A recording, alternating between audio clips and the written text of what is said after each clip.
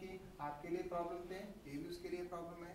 इसलिए तो क्या है you need to understand you need to be little open to accept this people ये नहीं है कि अगर आप रेस्ट्रिक्शन करते हैं तो देर रिबल राइट वो प्रॉब्लम और ज़्यादा क्रिएट करते हैं। इसीलिए तो क्या है, जैसा फैसिलिटेटर है, he is not a dictator or he is not